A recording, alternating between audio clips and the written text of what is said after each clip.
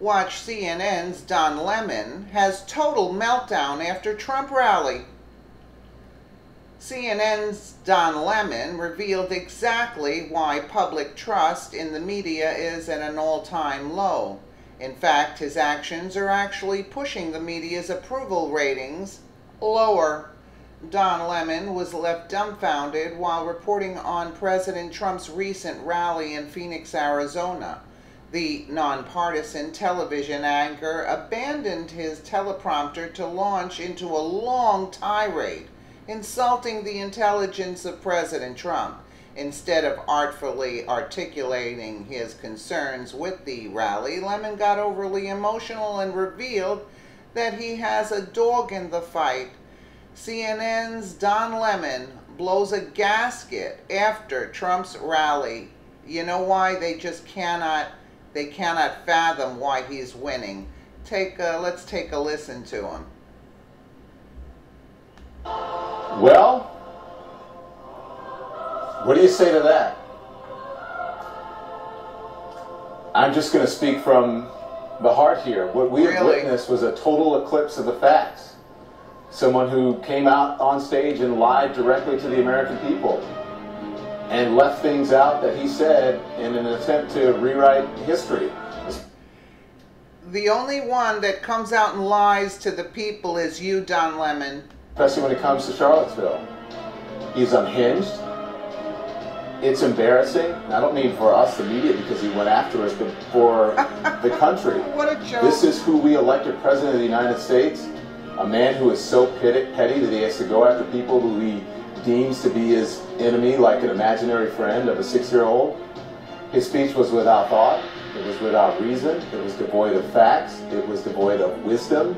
There was no gravitas. There was no sanity there. He was like a child blaming a sibling on something else.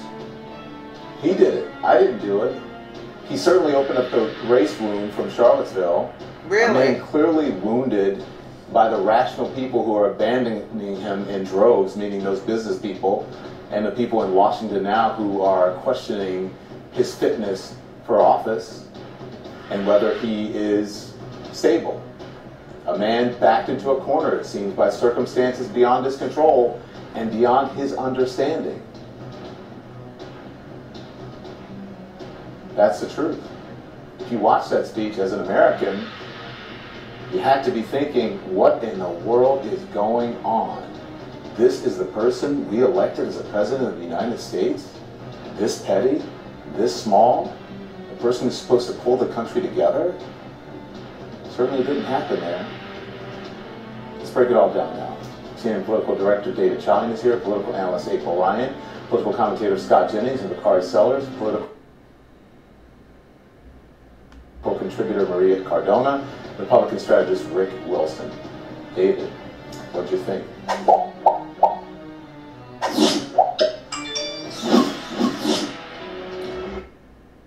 This, folks, is the enemy of the state. This is the enemy of America, CNN. They they continually spew lies, lie after lie after lie. Who's paying these people? Do you get where I'm going? Nobody, the majority of Americans voted for Trump. They're standing and they're allowing their ratings to go down so low. Where who's paying these people? Do you see where I'm going with it? This is propaganda at its finest. How he could stand there with a straight face and say these things. He must be getting a lot of money, believe me. Let me know what you guys think in the comments below. And again, thank you so much for watching. They're losers. These are the losers.